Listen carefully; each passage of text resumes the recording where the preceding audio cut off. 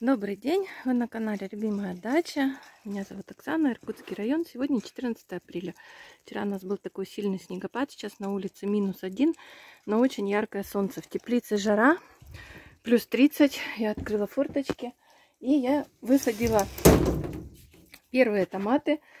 В предыдущем видео я все показывала, рассказывала. У меня томаты не скороспелки, я мелкие вот эти не люблю, не сажаю посадила крупноплодные индетерминантные сибирские сорта малахитовая шкатулка, батяня, алсу, сержант пеппер и говядина с куста. Помидоры уже у меня эти цветут.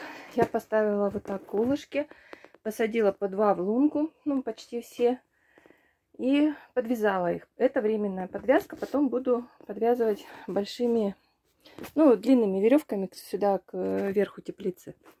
И сейчас начинаю утеплять. Что делаю? Вот у меня там белое, это даже не спанбонд, не спанбонд, это упаковка от ну, бытовой техники. Вот оставляли мы, когда такую упаковку, она очень плотная.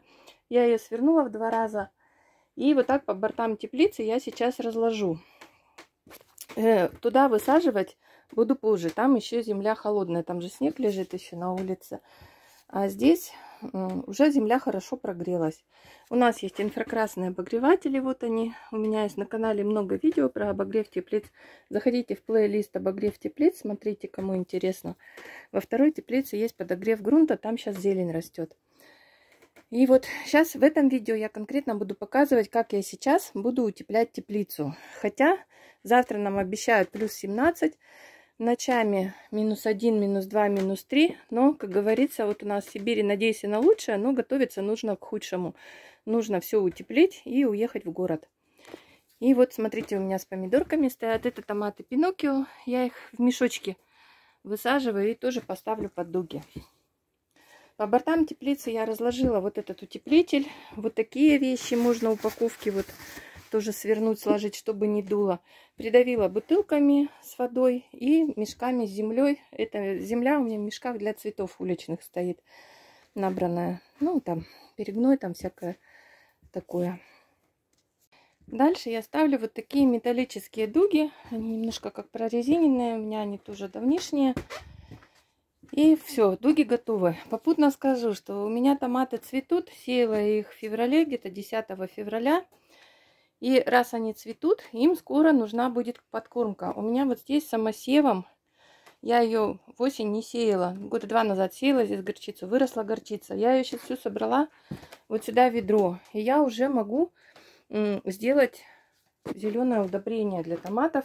Первая подкормка это у меня будет, несмотря на то, что на улице у нас лежит снег, но через неделю, и, ну, когда я соберусь поливать их потом, я буду добавлять по полковшечка вот этого зеленого удобрения. То есть всю горчицу я сейчас соберу, залью водой, накрою крышкой, и она будет стоять в теплице. И также я добавлю гумат калия, потому что томаты цветут, и сейчас им надо уже завязывать плоды. У меня рассада взрослая.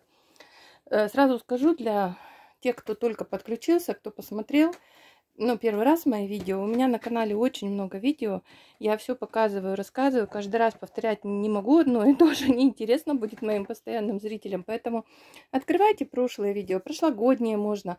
Мне там один мужчина написал, что, ну, это такие эксперименты, вы все погубите. Это не эксперимент, это мой опыт уже многолетний, как я высаживаю томаты всегда в это время и утепляю их. И у меня есть прошлогоднее видео, как я вот это высаживала, и потом какой урожай у нас был. Урожай у нас всегда нормальный, хороший. Поэтому, ну, я, конечно, переживаю за них, волнуюсь. Но я, в общем-то, понимаю, что я делаю.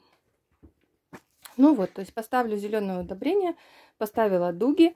Сейчас я буду накрывать эти дуги. Вот я высадила в пакеты из-под рассады свои томаты Пиноккио. Их у меня 8 штук. Привезла сейчас я только 4, потому что, ну, не вошли в коробки они у меня. Сколько вошли в коробки, столько я поставила.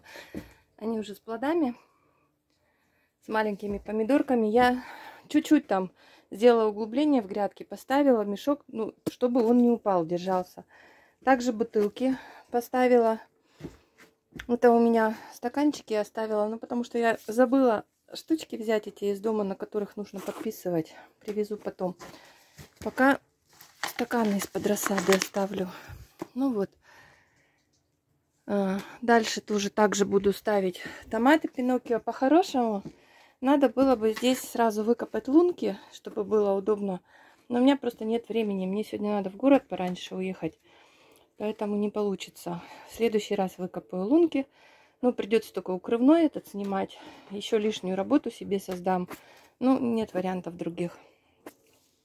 А вообще, вот когда у меня есть время, я этот ряд высадила. Там лунки сразу накапываю. Ставлю в лунки бутылки с водой, чтобы земля согревалась. И потом у меня уже, ну, заправлять их можно тоже сразу. А потом будет все готово, будет легче высаживать.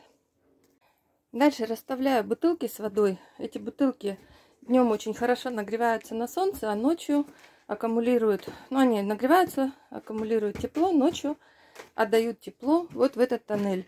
Сейчас я накрою укрывным, сверху можно одним слоем, можно двумя. Я накрою, ну, скорее всего, одним. Второй положу здесь рядом на готове, если вдруг какая-то, ну, слишком отрицательная температура ночью нам погода покажет. Я быстренько приеду на дачу и накрою еще вторым слоем, либо пленкой. Ну и, конечно, в теплице работают два инфракрасных обогревателя. Они как раз вот так греют на мои вот эти первые томаты. Второй ряд я пока не высаживаю. Там холодно, там и земля еще холодная, не прогрелась. Здесь я показывала, как прогреваю лунки. У меня есть отдельное видео. Вот так. Укрывного у меня не очень он широкий, чтобы закрыть до пола.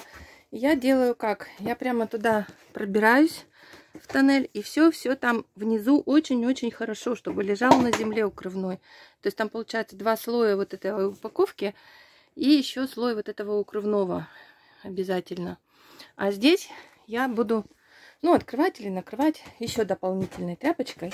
Закрепляю вот такими штучками. Покупала в фикс прайсе.